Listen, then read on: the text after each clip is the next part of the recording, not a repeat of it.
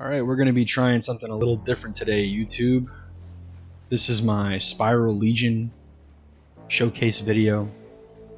It's funny enough, uh, you know, VaatiVidya made a video about his builds, and this build that he made, a very similar build to this, I really thought it was cool and wanted to try it out. I thought it looked like it could be good for PvP, you know what I mean? Even though he was showcasing it for PvE.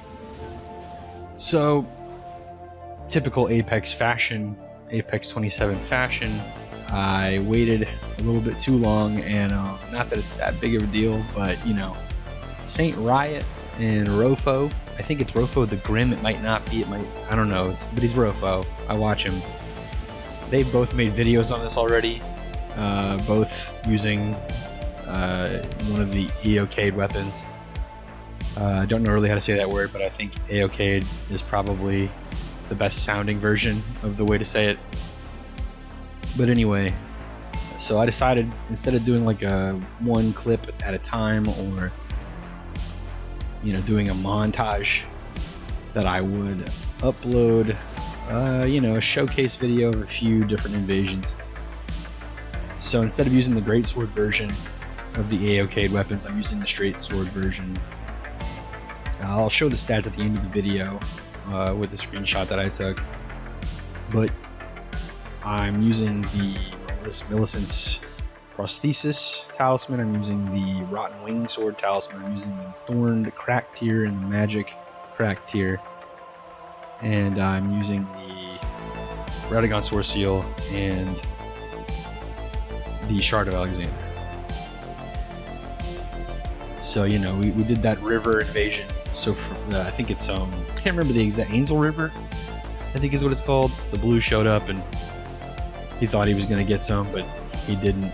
Instead, he uh, ate dirt, and then I got that nice parry on the Phantom while the PVE killed the host. Now we're here. You know, we're, we're in the middle of the snowfield or whatever. I forget what this exact location is called.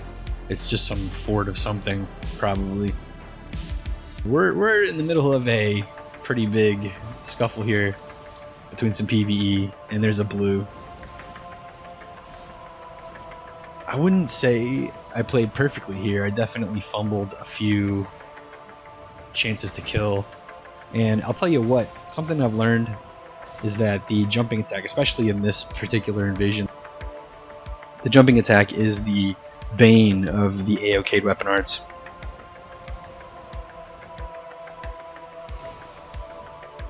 Which, by the way, for anyone that doesn't understand what I'm saying, AOK is the place that the two spinning spiral swords are from. The great sword version and the straight sword. I was hoping to get a parry there out of the animation. I'm not even sure if you can parry twin blades or not. I've never parried a twin blade so far.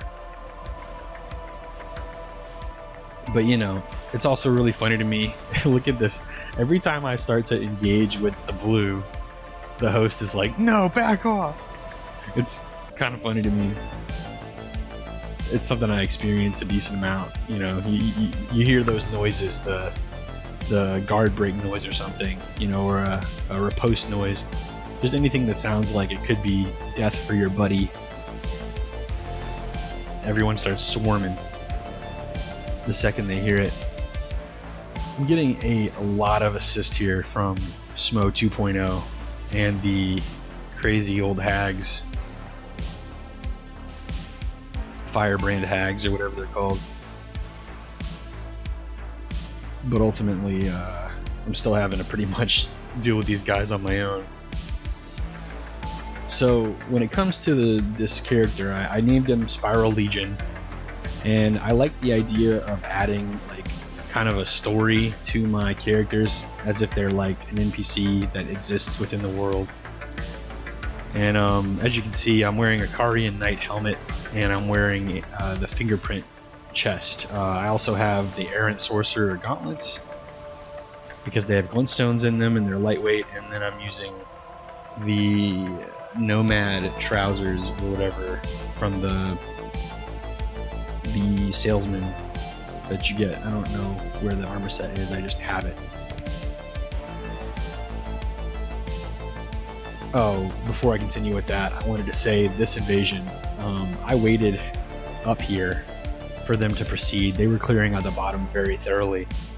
And I just, for some reason, I really wanted to fight them up here. I don't know exactly why, but uh, I spent another like good five minutes up on the third level looking for them, making sure they weren't about to run into the boss fight. Because that's usually what I do in dungeons like this, legacy dungeons. I uh, backtrack a little to make sure they're not, you know, looking at the boss, especially this one, because it, it zigzags, it like spirals, funny enough, it spirals. Give a little partial parry here. Yeah, it you know, you go straight and then you turn around, you go upstairs and you turn around and you walk back the other way and then once again up the lift and then you go forward again. So it kind of spirals in on itself and you, you really can't use the compass feature to help you figure out where they are. This was funny. I like dared him to fire that arrow at me because uh, I knew I could parry it. And then I didn't think that would kill him, but it did. And this is one of the main reasons that I show this clip is because this guy disconnects because he doesn't want to fight me alone, I guess. Maybe not sure that he, he can fight me alone, maybe. I don't know how I missed that, but I do. Uh, and then I I just hope that maybe I can kill him like before he disconnects, because you know that happens sometimes where like it's laggy, and, and they may not be disconnecting. It might just be like a laggy moment. But I don't get the kill, and a few minutes later I spawn back in. Same guy, same invasion space and I'm looking around for him up here because I figured that they disconnected and you know would, would, spawn back at that second level. So he must be you know all the way to the boss by now, right? Nope. Turns out he is still on the first floor, clearing it very thoroughly with his buddy. And uh, this time they have a blue. So you know I've sped up the footage here to show you just how much time I had to uh, fool around before they finally made it back up here. Uh, and like I said, they have a blue now. Uh, but funny enough, it's not going to be that much harder to take them down. While I'm doing that, though, I was going to talk about the lore behind my character earlier, and what I was going to say is is that uh, the fingerprint um, chest piece kind of looks like a spiral. The scarf that's on it, the scarf and cape that's on it, kind of block out the, the rest of the fingerprint uh, above the chest. And it just looks like there's like a spiral melted into the chest, right? So I kind of thought it would be cool to um, make this like a subsect of the Carian Knights that exists in World.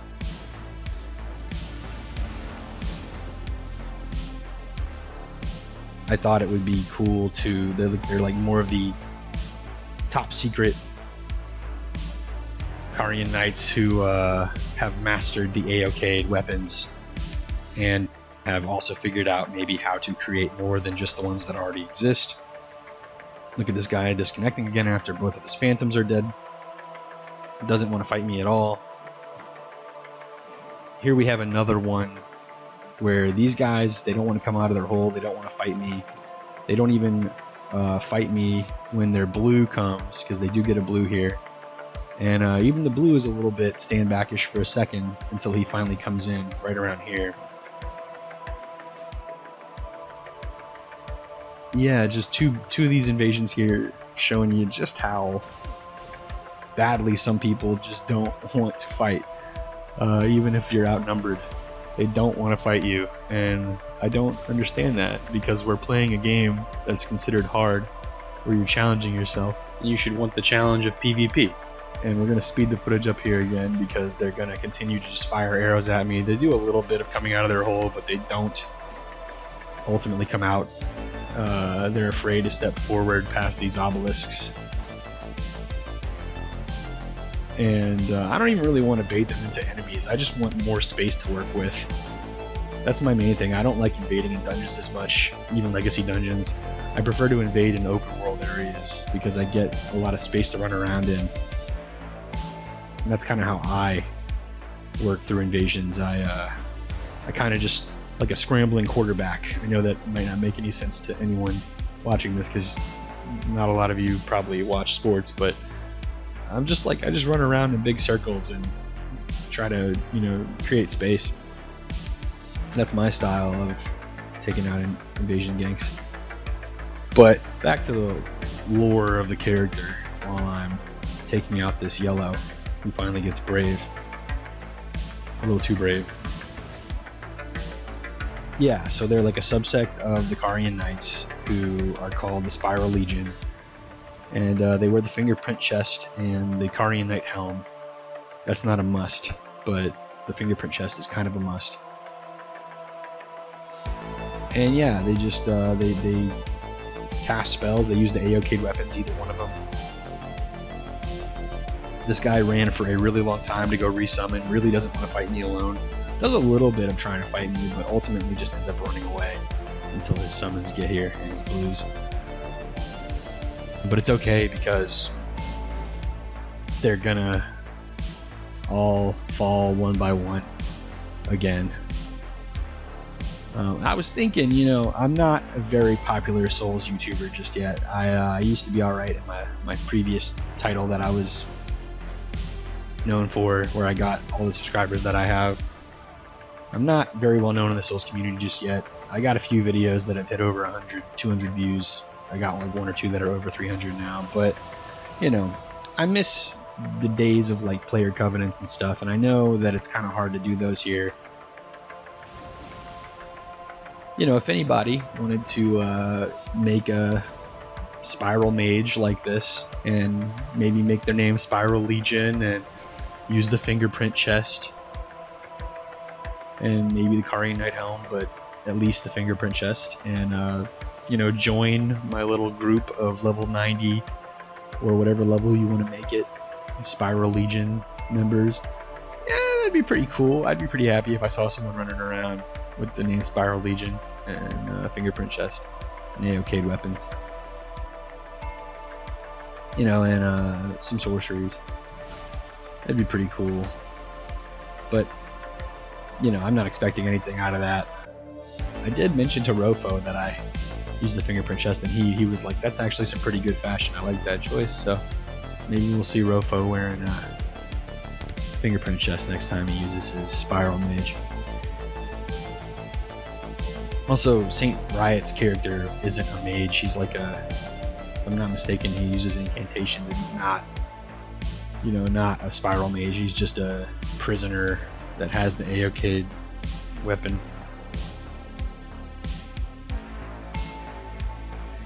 That's about the all I have to say about like the character and the lore and how I decided to make this build. Uh, it's funny to me that VaatiVidya was able to make a good PvP build with something that he clearly was only intending for PvP.